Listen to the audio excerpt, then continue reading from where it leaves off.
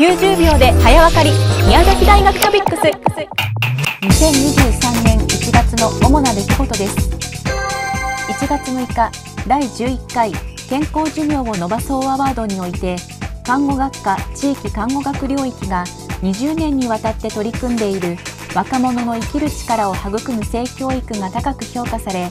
厚生労働大臣賞の最優秀賞に輝き鮫島学長へ報告しました。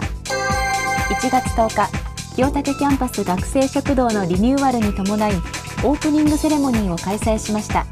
これは2024年に開校50周年を迎える医学部記念事業の一環として実施されこれまで以上に学生と教職員が集う温かい空間になることを願います。1月11日木花キャンパスにおいて本年度2回目となる宮崎トップセミナーを開催しました。今回は山室浩二門川町長が講師を務め約30名が受講し活発な意見交換がなされました。1月14日15日に大学入学共通テストが行われ火花キャンパスでは多くの受験者が試験に挑みました。換気や消毒の徹底別室受験室の確保など厳重に感染対策が講じられコロナ禍で3回目の実施となりました。